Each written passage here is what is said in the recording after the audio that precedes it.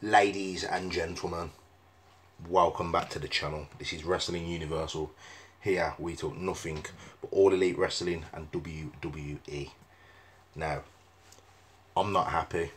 I'm pissed off. All right? I don't usually rant. I don't do rant videos to be honest. I don't get angry with the product. I don't really go mad at anything that Vince McMahon does, Bruce Pritchard does on Raw, SmackDown or NXT.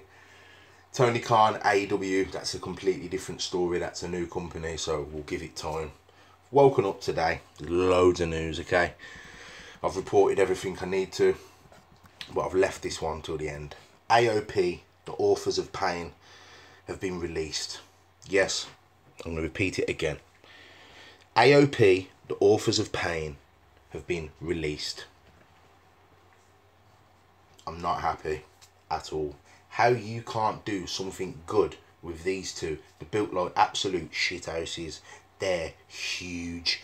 And you can't push these guys. You can't give these guys a title, tag team titles. You couldn't do nothing with them. You've had to release them. Really. Nah, man.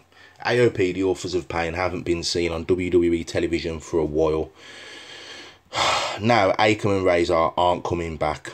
WWE have released the former NXT Tag Team Champions from their contracts effectively today.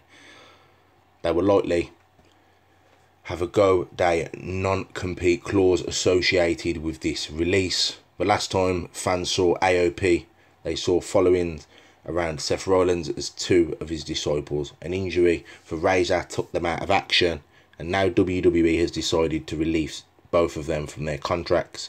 WWE has come to terms on the release of Aza and Rezar AOP. We wish them all the best in their future endeavours. Vince McMahon. WWE announced today that they are future endeavouring both members of AOP. This comes as quite as a shock. It was not expected as many fans were wondering how they might fit into the new stories WWE is telling inside the Thunderdome. We'll have to see if there's going to be more releases. There will be more releases. And from Wrestling Universal, I hope you all know, I'm pissed off.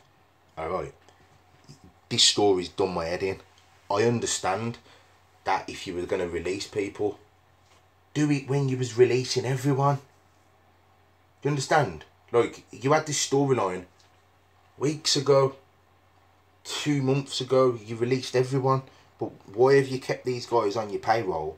Now you're getting rid of them. I could understand, but like, if they're not on television, have them go to gym, turn into absolute Brock Lesnar's, the pair of them, build them up. They're already big guys anyway.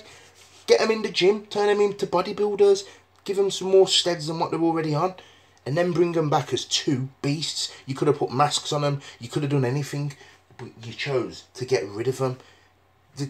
These are going to go All Elite Wrestling, man. I'm telling you now. I don't blame them. I hope they go AEW. I hope they go to AEW. WWE just doesn't know what to do with their wrestlers. Alright, they don't know what to do with them, man. And this just proves it. These two, I, I could understand, but their in-ring prowesses, they're good. They're good in-ring, both of them. They look mean. The shoot fighters, you could have turned them into shoot fighters. You could have had them on Raw Underground. You, you could have done something with these two, but yet, because you've got nothing for them, you're getting rid of them. This goes to the inner, inner, inner circles of the WWE creative, okay? Like, the fact that these two guys have been released, you ain't even put them back down to NXT. You could have put them in Raw Underground. You didn't even do that. You've got nothing for these guys. These two, when they first come in, it was like there was the Shield. All you needed is one more. Alright, you had Seth Rollins, but come on. Like, now, nah, man. I'm pissed off. Let me know what you people think down below.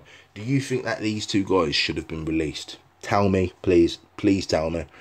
I'm to leave the comment section open on this one video. The reason I've took the comment section off the videos is because I'm having people come on there leave sexual explicit messages on my channel. This is a wrestling channel. Do you understand? And I'm having goons come on my channel, like leaving naughty words and that. Alright, the channel's not for kids, but still, kids could come on here and see them comments, you know. It, it, it, it's not allowed people here at Wrestling Universal.